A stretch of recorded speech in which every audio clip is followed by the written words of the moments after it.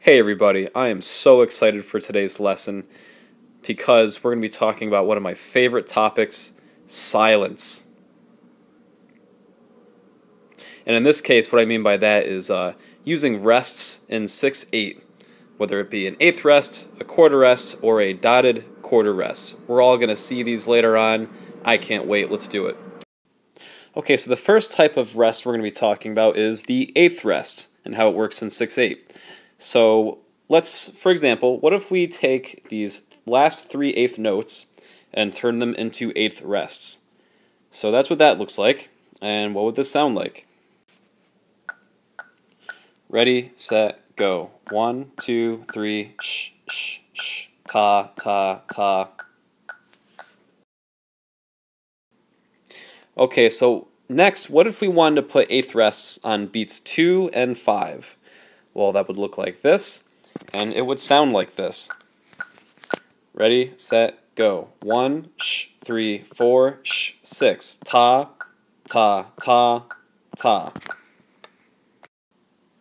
Next up, what if we had rests on 2, 3, and 5, 6? That would look like this.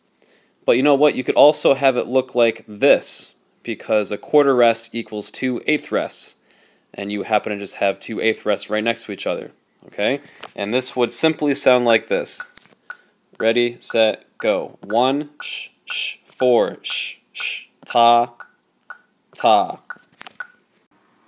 By the way, what's the difference between having this rhythm and then having this rhythm?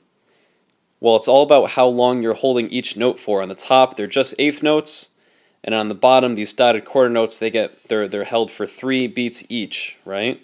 So just make sure you know the difference, and then you play them differently depending on which one you're reading. Okay, here's the next example. This time you have rests, eighth rests on one and two, and four and five. And of course, just like we were just talking about, you can also rewrite those eighth rests like this, using quarter rests, you will probably see both ways, so just be ready for both, okay? Uh, what would this sound like? Two, three, ready, set, go. Shh, shh, three, shh, shh, six, three, six. Here's yet another example. This time the eighth rests are on beats two, four, and six. And this is going to sound like this. Ready, set, go. One, three, five.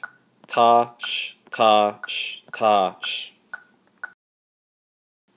Okay, and the last little example I have for you is with three eighth rests all in a row on beats 4, 5, and 6. However, you can also rewrite this like this, with a dotted quarter rest. Uh, because think of it this way, um, a dotted quarter rest equals three eighth rests. Uh, so more often than not, you're going to see um, that amount of rests all in a row um, being shown as a dotted quarter rest. Okay, and you probably already can figure out what this sounds like, but just in case, here we go. Two, three, ready, set, go. One, two, three, shh, shh, shh, ta, ta, ta. All right, and that's a dotted quarter rest. Okay, and the final slide. Here's an example of all the types of rests and all the type of positions we were talking about all together. So here we go. Ready, set, go. One, three, four, five, six. Three, five, six. Four, five. Two, three, four. Okay, a lot of space in there. Maybe I'll do it one more time with the with me saying shh on the rest two, three, ready, set, go. One, sh, three, four, five, six, sh, sh, three, sh, five, six, sh, sh, sh, four, five, sh, sh, two, three, four, sh, sh. Okay, hopefully that cleared it up.